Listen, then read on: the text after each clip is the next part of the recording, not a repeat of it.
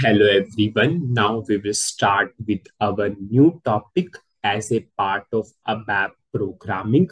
Our new topic is string operations. Now firstly, what is string?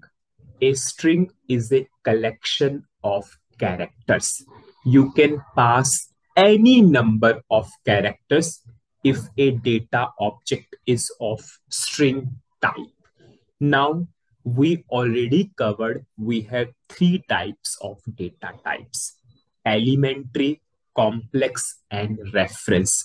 And string string is of which data type?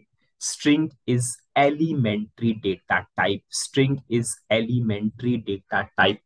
And we already covered elementary is further of two types. Fixed length variable length and string is fixed length or variable length? String is of variable length.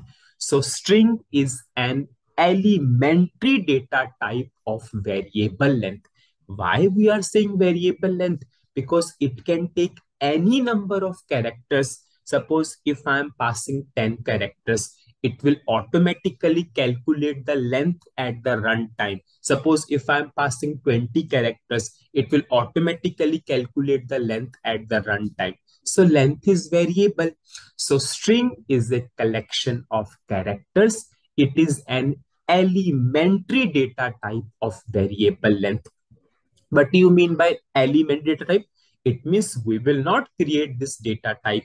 We will only, only use these data types. So now we will start with the topic string operation. This is the whole understanding of string. Now we will go for all the string operations one by one. And we will start with the first string operation that is concatenate. Now what is concatenate? Word itself is saying with the help of concatenate, you will concatenate the strings, you will combine the strings, you will combine the individual strings into one final string. You will combine the individual strings into one result string. So this is our first string operation, concatenate. We will do the practical first, then we will read this particular syntax which is mentioned in the slide.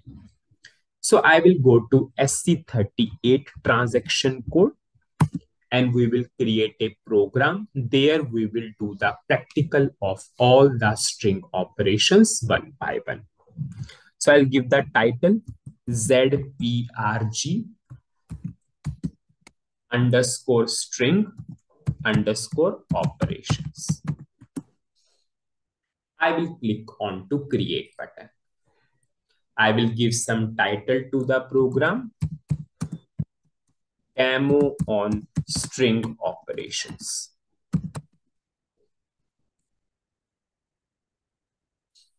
I will choose the type as executable program because we will check the output, we will run the program, we will execute the program.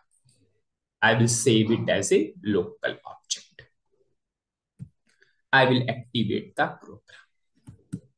First keyword is report. It means it's a executable program. Now what I will do, firstly, we will declare the individual strings or I will declare the individual variables. I will declare a final variable. Then we will apply the concatenate operation. So firstly, I will declare individual variables. How you can declare through data? It's a keyword. So I put tab. I will use chain operator. Suppose my name of the first variable is lv underscore input 1. I will give the length. Suppose 10 type C. Type is character. So character is a elementary data type.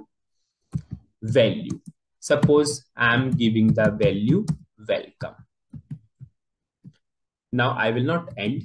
I will declare like another variable also because I already use the chain operator. So I can combine the multiple statements. LV underscore input to 10. type C value. Suppose I'm saying 2. I will declare third variable input 3 type C. Suppose I'm saying welcome to home. So I declare three individual strings which I will combine. So now I have to declare a final variable also in which the result will go. So I will declare a final variable and you will get a learning here. I'm declaring a final variable LV underscore output and I'm saying type is string and I'm putting dot. String, string is a elementary data type of variable length. Have you seen? I have not given any length here because it will automatically calculate the length at the runtime. If you will try to give the length to a data object which is of string type, you will get a syntax error. It will clearly state tell you that you cannot go for length specification in case of string because it can automatically calculate the length at the runtime. So we declare three individual variables and we declare one final variable. I'll check the syntax. I will activate. Now we will go for the syntax or I will apply the first string operation, how to concatenate the individual strings. So if I want to concatenate the individual screen, the keyword is concatenate. I used tab. But is first variable lv underscore input 1. What is second variable lv underscore input 2. What is third variable lv underscore input 3. I will combine these three into one final into one final variable or I will say final string so what is our final variable name? LV underscore output. So I will write LV underscore output. Now I will put dot because my statement has ended. The result of these three is going into this final one. So if I want to display the output or if I want to display the result, how I can display through write. So I will use the write tab. I will use suppose chain operator. I will write the result is comma. I will write LV underscore output. I'm putting dot at the last. I will use colon here so that we can clearly understand. I will activate the program.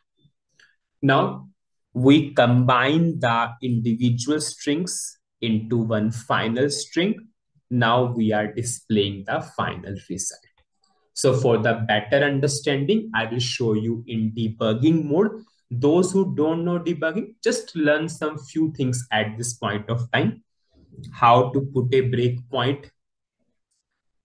Desktop 3 is most preferable. If you want to see the values, just double click.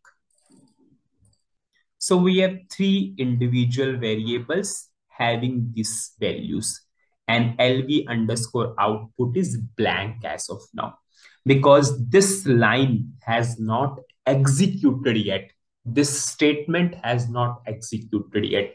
Now I'm doing F6. Now you can see these three where these three these three data object values are combined into this final so now if I'll see the final result, you can see welcome to home.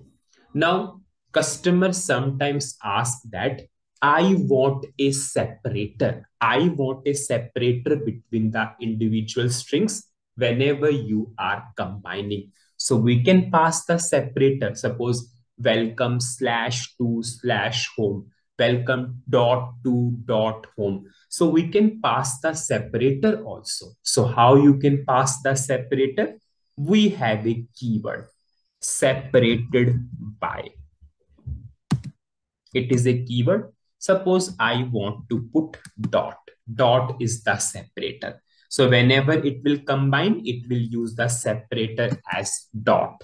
So if I will run, you can see welcome dot to dot home. Suppose I will go for slash.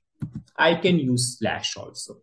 Suppose if I will activate, you can see the output is welcome slash to slash home. So what we studied in this topic or what we studied in this particular video, we studied string is a collection of characters. It is a elementary data type of variable length and we cover the first string operation concatenate. We combine the individual strings into one final string. If I will relate it to the syntax which is mentioned in the slide, concatenate yes concatenate. We have individual strings. We have individual strings. We into into is the keyword. We are combining into final string. We are combining into final string. Separated by separated by and we gave the separator. We gave the separator it can be dot slash comma anything so that's it in this video in the next video, we will start, we will go for further string operations.